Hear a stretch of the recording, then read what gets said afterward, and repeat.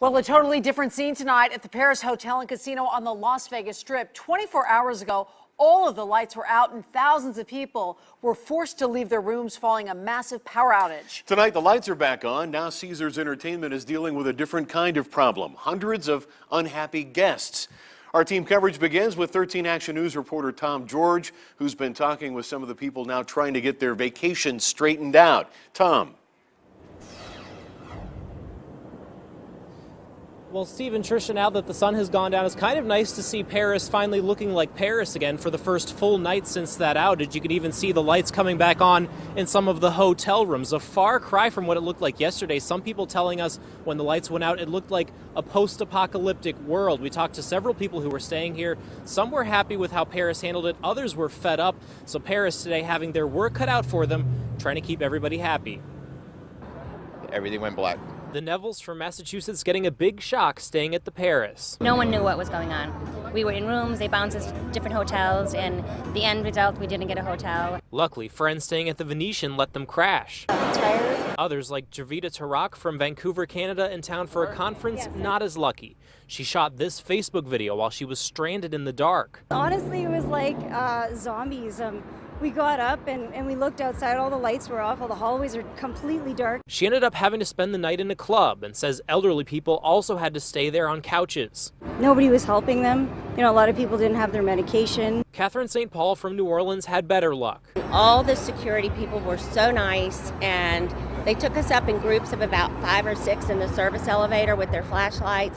Staff helped her get her stuff and find her another hotel. It was nice to see how they took what could have been a really bad situation and they really did a good job with it. Paris is offering guests an extra two free nights or $200 credit for their trouble. Some say that's not enough. And all they're offering us is a $200 food credit for being out for 15 hours. Time some are making up for today. We're going no. drinking. There you go. tough, tough day yesterday. Well, they could certainly use one, and uh, Paris says they are working with people, uh, everything from flights, anything they need, and again, they are paying for two free nights. They've also set up a hotline. Uh, we have a link to that as well. Just look for the story on our website at ktnv.com. For now, reporting live from the Paris Hotel, Tom George, 13 Action News. Tom, thank you. So now the big question still remaining: How does something like this happen at a major casino on the Las Vegas Strip? 13 Action News anchor Leslie Marine is live from the Paris, where she's digging into how the blackout started in the first place. Leslie. Trisha, it's here at the Paris where these contractors went inside the building and then into the boiler room. They were hired to fix flooring, instead, leaving this place in the dark. All I can say is that the contractor wasn't supposed to drill through the main line and shut the power down to the building.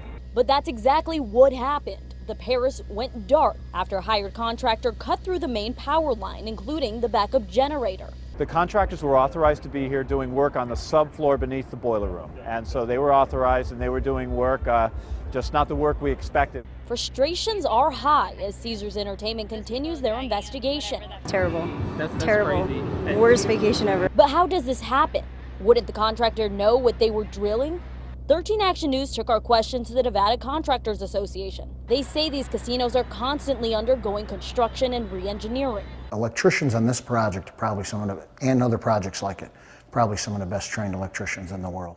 The association deals with over 600 contractors. This, they say, is a rare occasion, but hitting a main power line like that could have been deadly. No one got hurt. That's a big deal. What else may be big is the price tag to this blackout. On average, a casino on the Strip can make $1.8 million a day, according to a UNLV study from 2015. A costly mistake. Every one of these incidents is a learning event for the company, and we're going to be sitting back and taking stock of that. Well, tonight, Caesars Entertainment says they have put a permanent fix on that power line and they expect it to hold. Reporting live, Leslie Manning, 13 Action News.